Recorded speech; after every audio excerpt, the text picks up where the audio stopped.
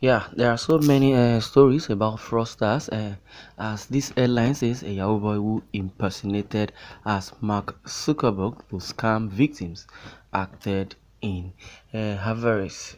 Uh, the internet fraud, also known as Yahoo Yahoo, has uh, captivated the minds of lots of youth. Uh, people, especially youth, derive joy from uh, defrauding others and making a livelihood uh, from that act. According to a recent publication made by the EFCC via uh, their official page, uh, Facebook page rather, a 21-year-old man was arrested for alleged uh, fraud. The EFCC narrated the method the 21-year-old man, known as uh, Jato Sharif, uses to defraud people According to the EFCC, Sharif impersonated as a Mark Zuckerberg, uh, the founder of Facebook, uh, to engage in a romance scam, thereby deceiving the uh, victims under the false pretense to obtain money, which after a successful investigation led by the EFCC operatives, Sharif was arrested and sentenced to prison for offenses bordering on impersonation and cybercrime. In my opinion, Sharif acted in uh, avarice. Uh, the love of money uh, became excessive and he decided to go uh, lengthy uh, just to acquire uh, wealth. Uh, impersonating a very popular and a reputable person to defraud people has proven that Sharif could go extra mile to make money. Everybody knows that internet fraud is a crime and it is punishable according to uh, the law but still uh, youth ignore the law and commit the crime at uh, free will.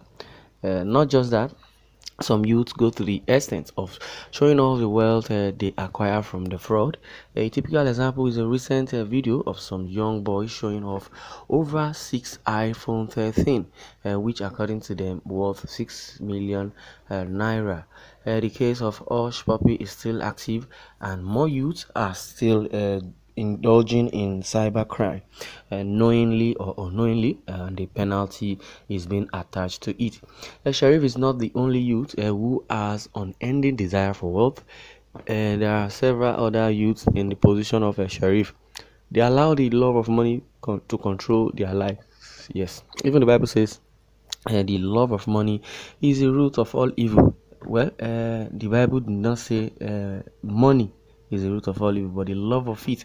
Uh, in other words, anything you too much love or anything you love uh, is more or less like an idol uh, and is the root of evil. Uh, as it is, Sharif is not the only youth uh, who has an unending desire for wealth. Uh, there are several other youths in the position of Sharif. Uh, they allowed uh, the love of money to control their lives. Uh, one vital thing that people fail to understand is that the love of money is the root of all evil, which I have said earlier that the Bible says such. to become wealthy, you need to understand how money works and let money work for you instead of feeling too attached to it. Hopefully, Sharif comes out of avarice and uh, regains some dignity to himself. Hmm. Yeah, well, uh, basically, uh, in uh, the irony of all this is just that uh, if you talk about uh, fraudsters or internet fraudsters or fraudulent people or crime, cybercrime, be it whichever way, the totality of it is just greed. Uh, we are talking about the youth uh, who you know, indulge in scam, uh, who indulge uh, in fraudulent acts. Uh, I believe uh, no one is a saint, but to to delve into this my case, you know, vividly, I would say it is the foundation. Mm, because Sharif is a Nigerian, you're right, and the foundation of this so-called Nigeria is what is making all these youth, you know, indulge in crime let me not use cybercrime uh, at the uh, uh, contextually i would say uh, crime because when you talk about the foundation of Nigeria, uh, we'll talk about those that you know are leading us because we talk about they are they are being the foundation of it all. Because when you are a citizen of a country, and uh, either directly or indirectly you're paying tax, you know the value added tax which is uh, being generated by every you know state is being you know uh, sent uh, to the federal inland revenue uh, service uh, so that it will uh, be useful for the nation uh, the country called uh, Nigeria as it is. I want to, you know, even speak about the Nigerian government.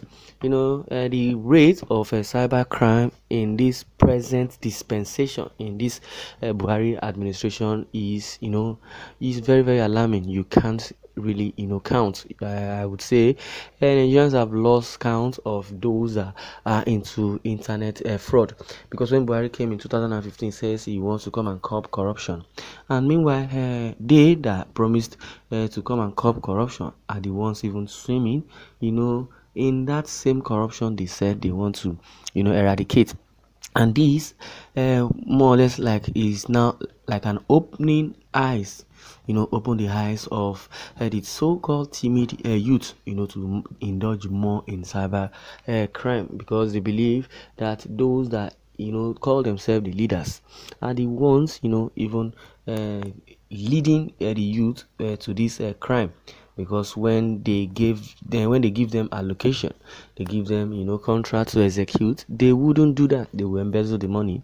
And instead of them to utilize the money you know uh, create you know jobs or create uh, uh, awareness and make sure uh, it you know goes round in the country they rather you know take the money abroad you know to go and you know boost the economy of other countries. Meanwhile uh, these Yahoo boys, so-called Yahoo boys, that we have said they are Yahoo boys, they would uh, rather, you know, uh, scam or uh, victimize their victims you know collect the money maybe in dollar or pounds or thereabouts. They will bring back the money down to nigeria to make sure uh, that they uh, boost the economy of the nation. And instead of uh, the so-called nigerian government you know uh, to to to to uh, to uh, uh, build infrastructure because I believe they, they kept on borrowing money, borrowing money, borrowing money, and at the long run, instead of uh, building infrastructure as what they said they want to use the money for, they rather divert the money and share it amongst uh, themselves. So the youth will be so very furious. Even I, that I'm reading this, I'm very very furious uh, about this present administration. Buhari has really dealt with Nigerians, you know, when it comes to economic.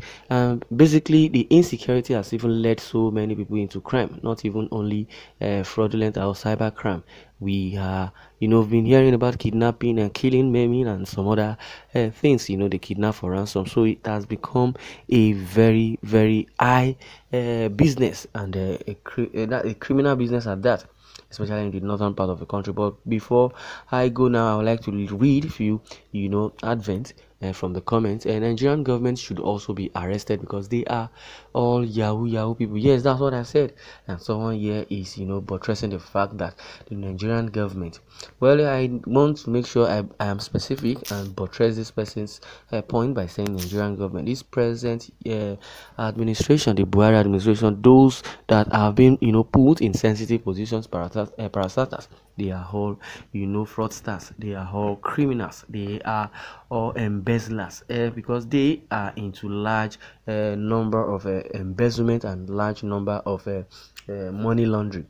So they first should be arrested. Like there was an argument that came out earlier that the difference between yahoo uh, uh, Ubers and the so-called politicians who uh, steal money because they steal money in large uh, quantity and Yahoo boys uh, rather you know victimize their victim. And meanwhile they are not supposed to be arrested. I mean the yahoo boys are not supposed to be arrested because nobody has indicted them. No one has reported you know that their money is missing especially those whites. So why would you arrest them? Well i believe if they have good lawyer uh, they will be justified. I'm not saying a crime is good. I'm not saying being a fraudster is uh, fraudster is a good thing, but uh, the, the truth must be told. The so-called people that call themselves politicians are the ones that are supposed to be, you know, arrested first. You know, uh, not minding uh, the level of uh, uh, reputation or, or, or personality they they cover or they they, they wear because they only wear such personality because that personality is just the name being senator or politician. But they in real life they are not worth it. And yes i would like you to share your view in the comment section and let us know what you think about this. Thanks for listening